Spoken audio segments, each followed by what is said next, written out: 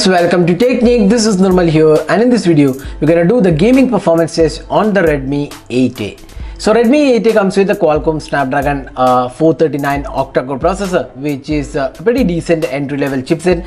Now we also get uh, 2GB RAM as well as 3GB RAM variants on this device. Both have 32GB internal storage. Now in this video we'll test out the gaming performance. So we'll play PUBG mobile on this device. So we have the 2GB RAM variant with us. So let's see if 2GB RAM is able to play PUBG mobile and also see how much battery drain happens and also uh, what is the temperature like uh, after gaming. So we have uh, this device uh, right now.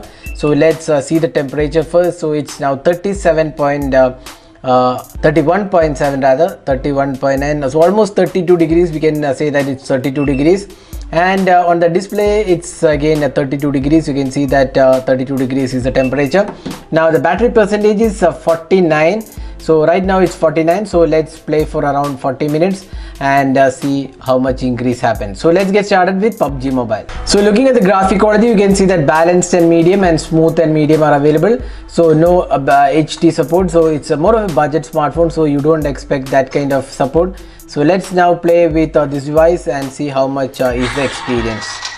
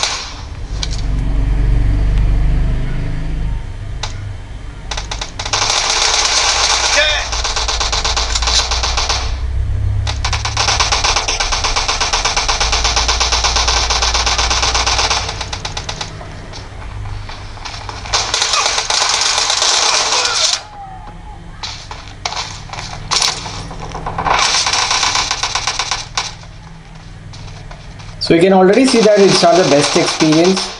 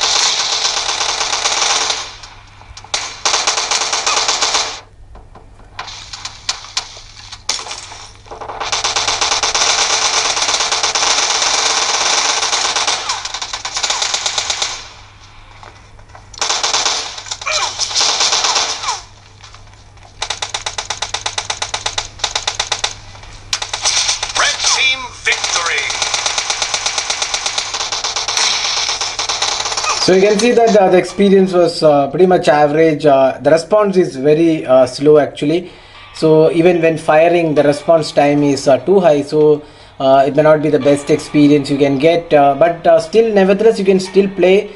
No major hanging issue. It is still playable with the I mean the settings available. That's the low settings but uh, still you won't get uh, the better uh, best experience out there. We would suggest you to go with the 3 gigabyte ram in case you are buying this and if you want to play pubg mobile 3 gigabyte ram would help uh, in a slightly better experience overall. But then uh, still snapdragon 459 is not a great uh, chipset for gaming but then it's still playable. Now let's go for one more round of pubg and see how much battery drain happens